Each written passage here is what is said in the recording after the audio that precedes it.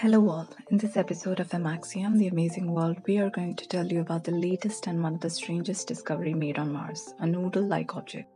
So, welcome to yet another episode of Amaxiom, The Amazing World, where we show you the most amazing things all over the world and also the universe. In this video, we will tell you about the strange discovery made on the red planet, the journey to the discovery, where the strange object was found, and finally the best guess on what it actually is and why, and a lot more. So stay tuned. Whether you are a space scientist at NASA or a space enthusiast or a normal guy doing normal stuffs, when it comes to Mars, everyone would be curious about what would be discovered next on the red planet. Well, looks like we have found something, and the find was captured by none other than Perseverance, the Mars rover lovably called as Percy. Perseverance has been observing the red planet since February 2021. It was manufactured by the Jet Propulsion Laboratory and launched on 30th July 2020. The picture taken by the Perseverance rover shows a set of tangled, thread-like strange object. If we could relate it to regular objects on Earth, it looks similar to noodles or a ball of spaghetti. The strange object was discovered on July 12, 2022, and its origin has not yet been determined.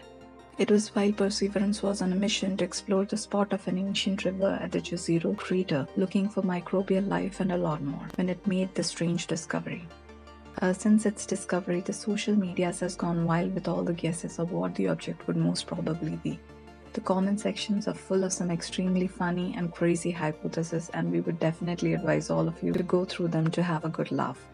Could it be an alien or an unusual geological formation? Jokes apart, and considering the Martian environment, the most probable explanation to the origin of the strange object could rather be simple. Perhaps it's a part of the rover itself which may have scattered off from the rocket powered jetpack during the descent stage of Perseverance rover or any other previous rovers upon landing on the Martian surface. So, yes, the object is most likely to be space junk from the mission itself, and it can be confirmed as many such junks have been spotted in the past too. Still more discoveries are to be made on the Red Planet, and Percy is all geared up for all the adventures coming its way and will keep us all updated. So, which do you think is the most puzzling and strange discovery made on Mars until now? Do let us know in the comment section.